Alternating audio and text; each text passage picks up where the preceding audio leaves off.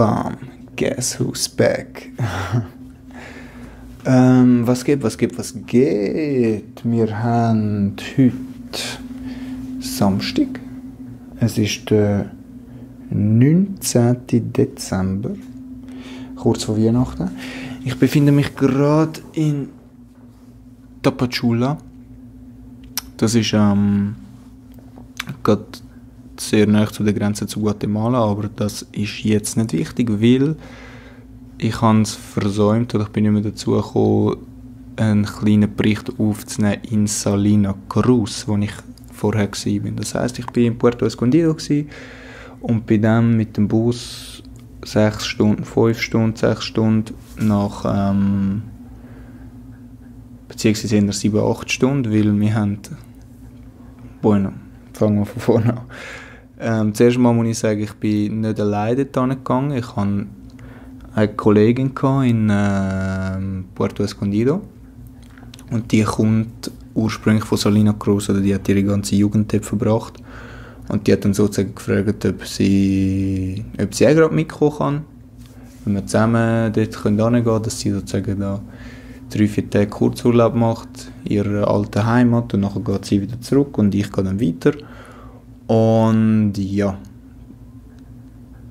wegen dem, und nicht wegen dem, aber durch das sind wir nachher auf der Hinfahrt ein bisschen mehr localmäßig unterwegs Das heißt, es gibt die direkte Gar-Verbindungen, die auch dementsprechend teurer sind, aber ähm, wir haben uns dann dazu entschieden, fürs Abenteuer so mit so kleineren Bussen zu fahren oder mit einfach so mit normalen ÖV sozusagen, wo du dann so Bus für Bus nimmst und dann haben wir irgendwie drei, vier Busse müssen nehmen und sind dann schlussendlich nach, anstatt nach fünf, sechs Stunden, sind wir dann halt nach sieben, acht Stunden in Salina Cruz angekommen.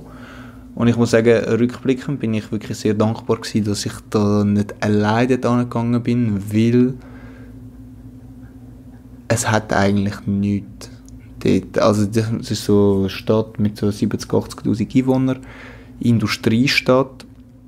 Es hat eine von der wenigen Ölraffinerien dort und Marinestützpunkt, dies, das. Aber es ist, wirklich, also es ist null touristisch, das merkst du auch daran, dass also man gar niemand Englisch kann.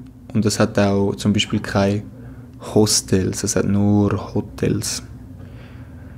Und durch das bin ich wirklich eigentlich froh, dass ich mit ihr dort angegangen bin, weil dann ist es natürlich nochmal etwas anderes, wenn du mit einem Local dort bist und dann ist es gleich sehr interessant gewesen. Wenn ich natürlich alleine dort angegangen wäre, wäre ich wahrscheinlich ein bisschen verloren gewesen. Das ist so ein bisschen das. Und ja, auf jeden Fall sind wir dann drei Tage oder vier Tage dort gewesen das war noch interessant. Gewesen. Sie hat mich dann da überall ein mitgenommen zu ihren alten Kolleginnen und Kollegen und dann sind wir noch bei, bei, bei einem Geburtstags- oder bei zwei Geburtstagsfesten gewesen. Einmal haben wir nur eine Kollegin besucht und der Ehemann, dem seine Schwester hat Geburtstag gehabt, dann hat es dort noch ein Fest gehabt. Dann sind wir durch das zwei Tage später noch eingeladen worden an die Geburtstagsparty vom Kind von der Kollegin, die ist irgendwie fünf geworden und bin ich da voll im mexikanischen Alltag gewesen. Und das war eigentlich auch genau das Coole. Gewesen. Ich habe dadurch eigentlich ähm, wirklich so ein authentisches Mexiko gesehen. Also ich glaube, wenn du so müsstest beschreiben, wie Mexiko ist und wie wahrscheinlich also ich meine, eben Mexiko ist so riesig, aber wahrscheinlich würde die Stadt Salina Cruz wahrscheinlich am besten repräsentieren, wie es in den meisten Kleinstädten in Mexiko so läuft. Weil das war einfach wirklich Mexiko pur gewesen, sozusagen. Oder ich war auch wirklich der einzige Tourist. Gewesen. Die Leute haben mich angeschaut wie ein Alien. Oder gelacht oder Heu gesagt. Oder. das war lustig. Gewesen. Und das war von dem her wirklich sehr interessant. Gewesen. Und ja, da sind wir wirklich so ein bisschen dort gewesen. Ich bin mehr so ein mit unterwegs gewesen, da ihre Freundinnen und Freunde begleitet, weil es halt einfach wirklich nicht mehr hat. also ich hätte da gerne noch eigene Aktivitäten gemacht, aber so viel kannst du dort auch nicht machen. Dann sind wir noch ins Kino gegangen und dieses und jenes gemacht. Und es ist von dem her wirklich eine coole Erfahrung gewesen. Die Stadt selber hat mir, also rein optisch macht die Stadt gar nichts. Es ist wirklich eigentlich keine schöne Stadt.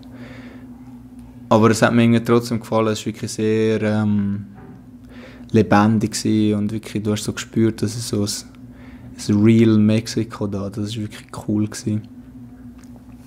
Und ich glaube, das Gleiche ist auch ein bisschen da jetzt in dieser Stadt, wo ich jetzt bin. Aber dazu später mehr. ah, und ich habe jetzt, ich habe jetzt wieder angefangen, Reisetagebuch zu schreiben. Muss jetzt natürlich sagen, in der Zeit, wo ich jetzt in Puerto Escondido war, für fast eineinhalb Monate oder für eineinhalb Monate, habe ich aufgehört, Reisetagebuch zu schreiben, weil es einfach, keine Ahnung, ich habe so meine feste Bleibe es ist jeden Tag nicht gleich gewesen, aber du bist halt so ein bisschen es war dann so Alltag gewesen, und dann war irgendwie so ein bisschen müssig gewesen, das Zeug aufschreiben. Und ja, durch das haben wir jetzt aber wieder vorgenommen, jetzt wo ich ja wieder unterwegs bin, unbedingt das Zeug aufschreiben. Habe ich jetzt in Salina Cruz noch nicht gemacht, aber jetzt nach dieser Aufnahme schreibe ich mir das Zeug da wieder auf. In diesem Sinne, kurz und knackig, Salina Cruz, Küstenstadt in Mexiko, Oaxaca. Und dann hören wir uns beim nächsten Mal wieder. Ciao, ciao, ciao, ciao, ciao.